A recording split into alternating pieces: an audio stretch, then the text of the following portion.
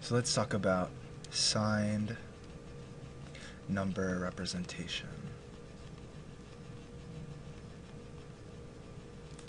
in a computer. Okay?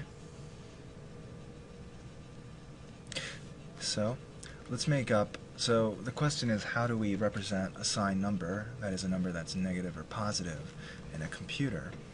Well, the first. If you think about it, and you made up, let's say you make up a system for doing this, the first logical choice would be to have a sign bit followed by a magnitude field.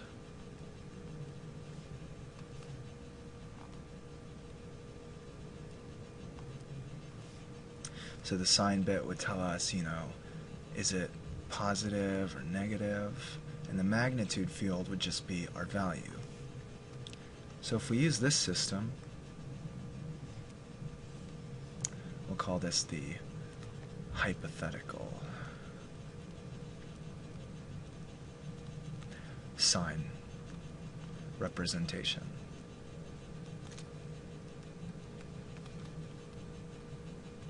If we use this hypothetical system, you know, let's say we had two numbers. Let's do both cases. 0, 0, 0, 0, 0, 1. And we had 1, 1, 1, 1, 1, 1. So what are these equal to? Well, in this case, our sign bit is equal to 0, so we're going to end up with positive, and the answer is going to be positive 0, 0, 0, 0, 1, so positive 1. And in this case, we're going to have 1 as a sign bit, so let's make that negative. So when the sign bit's flagged, we have a negative answer. So negative 1, 1, 1, 1, 1, base 2, which is equal to what? 1, 2, 4, 8, 16, 32, negative 64. Okay? So this is our hypothetical sign representation. Now, why don't we do this in real computers? And the reason is, is because we can't subtract this number from this number with any uh, simplicity computers can add numbers very well, but they can't subtract them. So a new system was proposed, and it's called the twos complement system. So let's draw out some bits. Uh, let's say we have a magnitude field of 3 bits this time. So this will be our sign slash complement bit.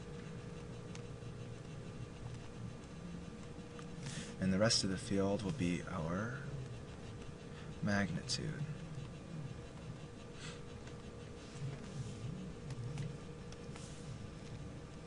So this is the twos complement system.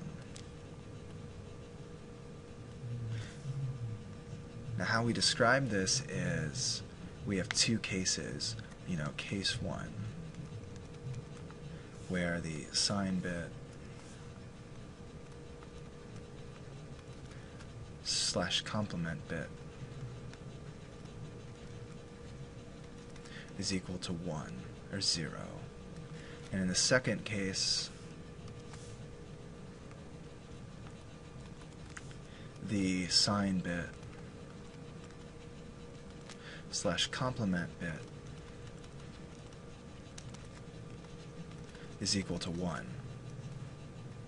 So let's break it down. Let's say case 1.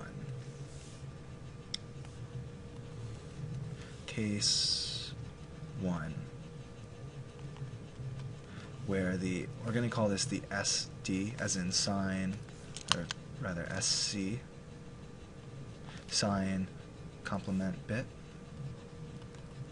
is equal to 0. Okay?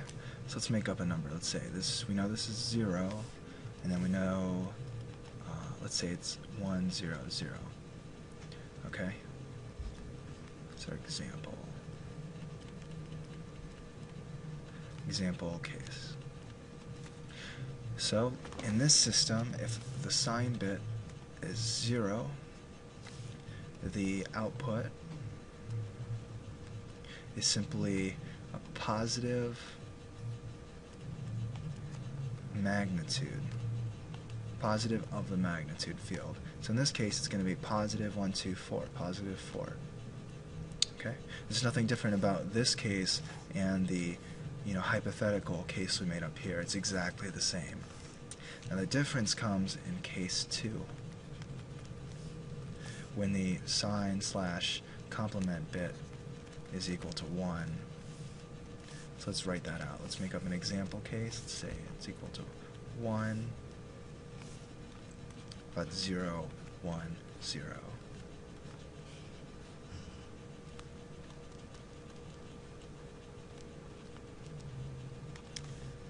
So in this case, our sign bit slash complement bit is equal to 1.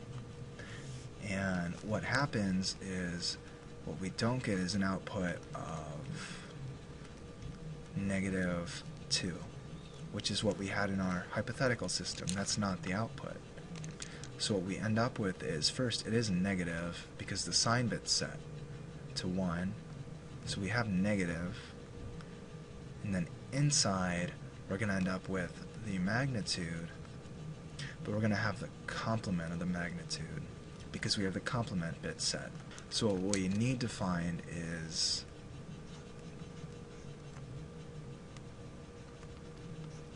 the complement of 0, 1, 0, and then this answer is going to go here. So let's find the complement of 0, 1, 0. First we're going to find the co-complement, which simply we flip the bits, so that's going to be uh, 1, 0, 1, and 2's co-complement. So what's 1, 0, 1, 2's co-complement equal to, and the 2's complement? And all we do is add 1 to the 2's co-complement, so it's 1, 0, 1 plus 0, 0, 1, 0, 1, 1.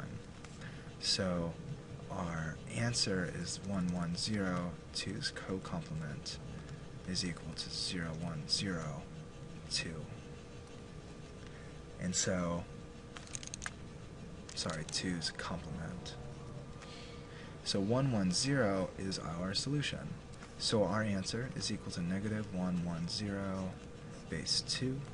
And the answer is because when you take the complement, and this number is already in complement form, when you take the complement of a complement, you end up with the original number.